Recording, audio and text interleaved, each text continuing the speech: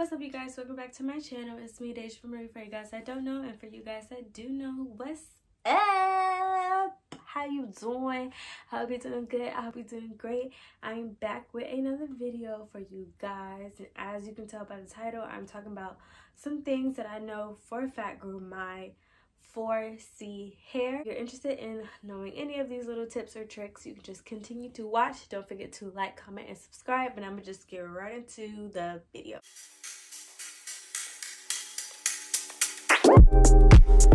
It's not the way you stare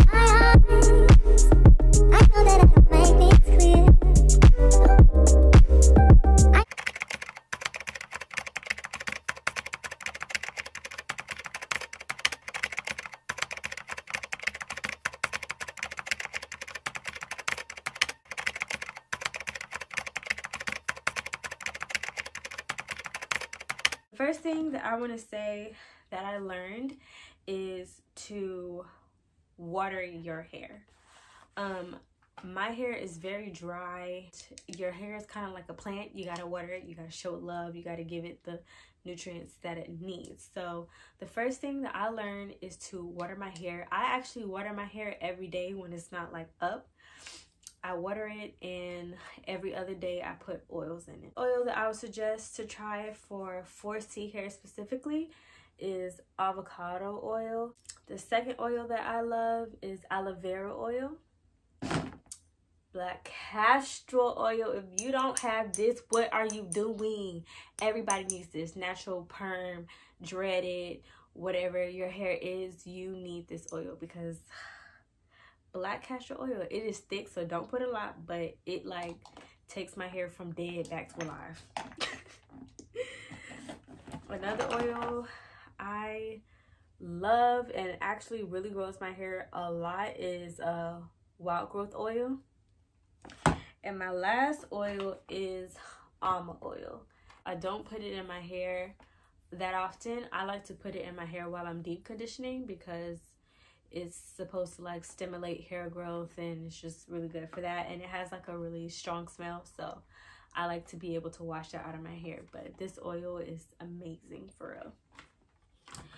Okay so what i would do um, what i learned to do was every day i every day i water my hair and every other day i water condition and oil my hair so the conditionings that I use is Shea Moisture, the Black Castor Oil one, the leave-in conditioner, and this is just a moisturizer sealant. I put this in my hair. So what I do is I mix these two up. So I'll water it, I'll put that in my hair, and then I'll put all those oils in my hair. I actually have it together mixed up here. So I have a bottle like this and I just have avocado oil, aloe vera oil, black castor oil, and wild growth oil. I have all those oil in this and I just put it on my hair. So again, I wet my hair, I put the moisturizer mixed with the conditioner in and then I oil. I do this every other day. And every day I I water my hair and I just put a little bit of oil. I don't want to put too much, but I just put like a little bit of it and I just like put it in my hair. So that's what's been helping my hair grow.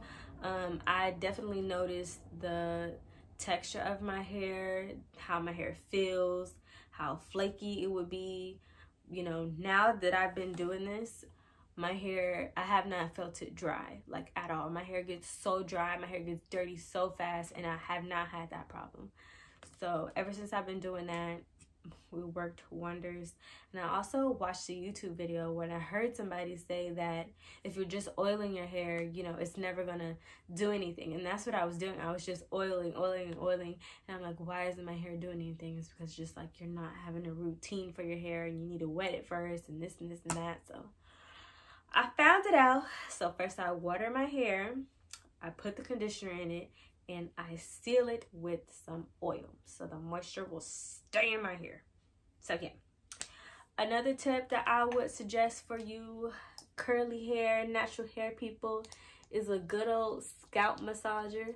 I got this off of Amazon. I absolutely love this thing. I specifically use it when I'm uh, cleaning my hair out in the shower. So when I'm shampooing my hair, I just massage it. I massage it, I massage it, massage it, and I wash it out. Then I shampoo again and I massage, massage, massage, massage, and I wash it out. I also use this when I'm deep conditioning my hair.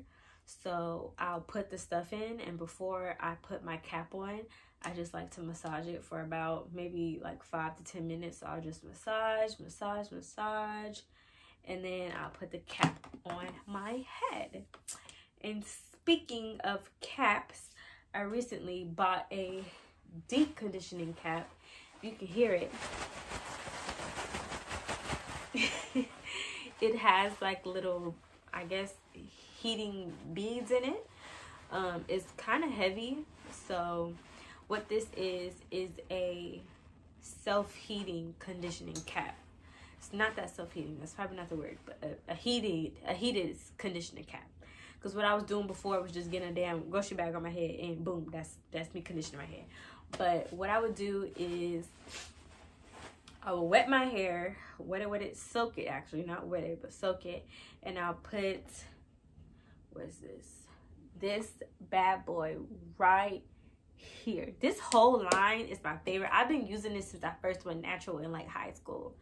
So this line is my absolute fucking favorite. If you have dry 4C hair, I would highly recommend getting this line right here because it just helps my hair so freaking much. But anyways, back to my deep conditioning process. I wet it, I put this in there, and I put my almond oil in there. I don't put any of the other oils, I just put this one because I want it to work do its magic, do its little design. You know what I'm saying?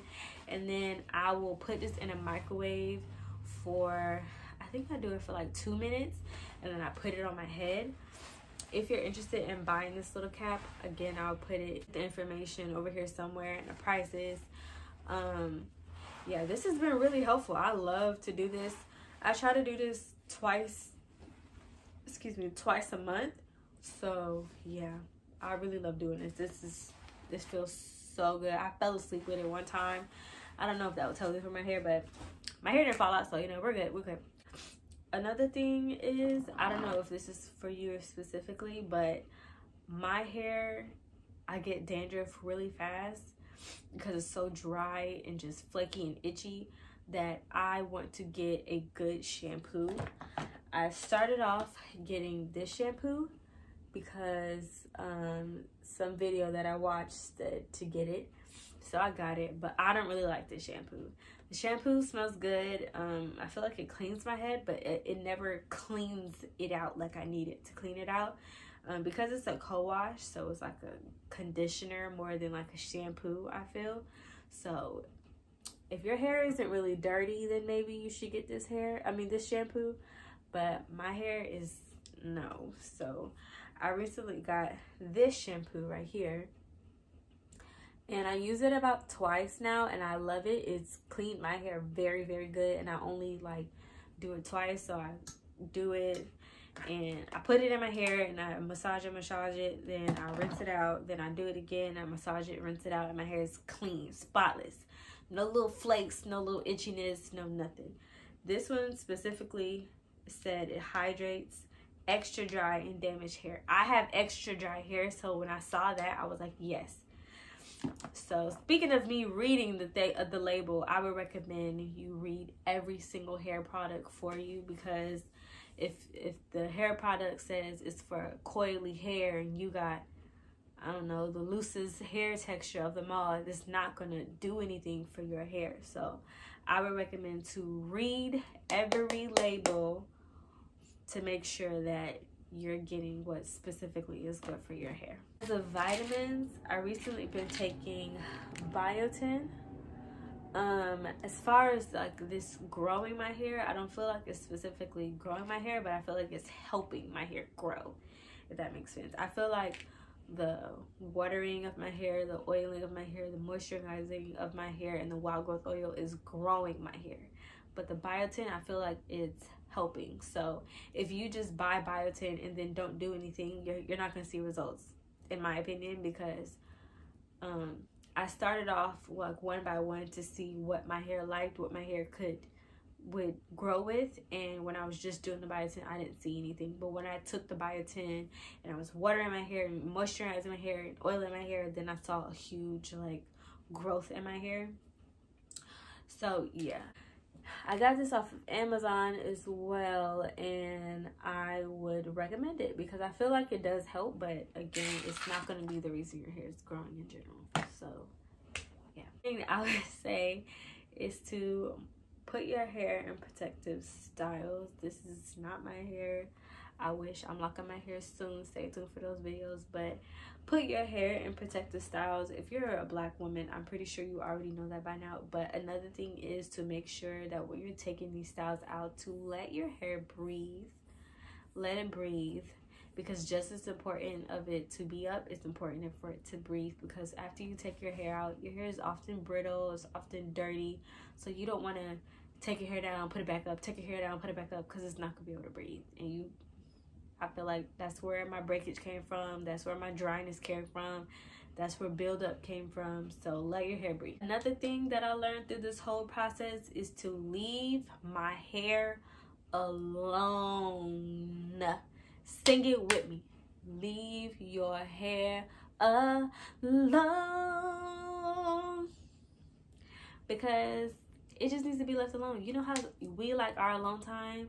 How even your damn dog likes it, it's alone time. Your hair wants your alone time. Like you don't have to be doing it all the time. You don't have to be messing with it all the time. You don't need to be oiling all the time. Just just see how your hair is feeling. See how it's doing. If you have a wig that you could just throw on top of your head, do it. If you have some little turbans, let me show you. I have a whole bunch of these little little head wraps right here. Um, I wore this on my head for like two weeks before I put this in my hair because I wanted my hair to breathe. So what I would do is I would go to work. I work about eight, 10 hours a day. So I would go to work with this on my head and I would come home and I would take my hair out and I would just let it breathe and I would go back to work and do the same thing. And I feel like that's where my hair grew a lot because I'm going to try to keep like a little update on how my hair is. But I've been recently I recently, within the past year, cut my hair really, really short. And I was doing that consistently. But then I wanted to grow it back. Now I'm growing it back for dreads. But within that whole process, the back of my hair, which I can now grab, y'all. It is up in a braid. I couldn't even grab it. Okay? Let's say that again. I couldn't even grab it. It was nippity naps back there. But now it's in a braid. You see that? It's braided. Do you see that? It's braided. Okay? So, shit, what was I saying? I got ADHD. But anyways, now I can braid my hair in the back and the middle of my hair fell out.